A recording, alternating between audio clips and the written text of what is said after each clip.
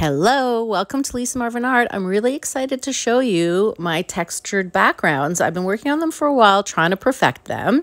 I've laid down TLP, Sea Glass, and Enchantment. Those are going to be my background colors. And I've just taken a plastic fork. You could really use anything, but I just had this on hand. And I'm just making a background. Now, what you'll notice is when I spin it out, that outer layer of the sea glass disappears. So next time what I would do is just make a tighter puddle in the middle and not waste that paint on the outside, but it's all learning. I really like this pattern as it is, even if I didn't bloom on it, I think it would look really cool. Um, so I'm going to bloom on top of that and hopefully it will look cool with the background because I wanted to try to control more of what my pours looked like. That is golden quinacridone, what is that? Nickel azo gold. And then I put more TLP enchantment on top. And then I put permanent violet from golden. And that's one of my faves, TLP Constellation. It's such a deep purpley blue color. And I just topped it with some white in my pouring medium. And I'm using Payne's Gray Cell Activator. It's the SheleeArt recipe. By the way, you can take the class for 15% off. I have a discount code.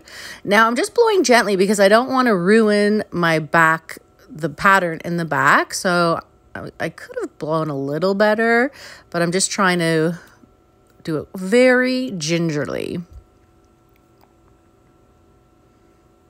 I do like these colors together. You can get TLPs from fluidart.co. And wherever I see a little more cell activator, I just try to break it up and blow gently into it.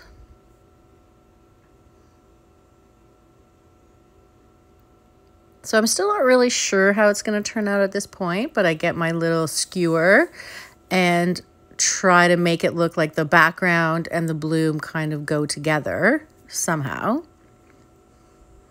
So yeah, it's really fun doing these backgrounds because I'm a painter, or I was before I was a bloomer, and blooming is so you never know what's going to happen till you spin. So I wanted to try to control it a little bit more um, and get a more desired outcome. I don't know if I did or not, but here we're spinning her out.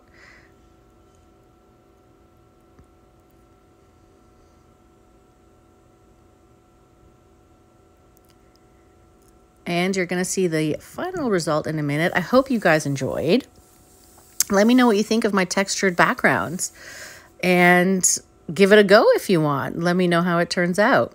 Thank you so much for watching, and I hope you enjoy your day. Bye.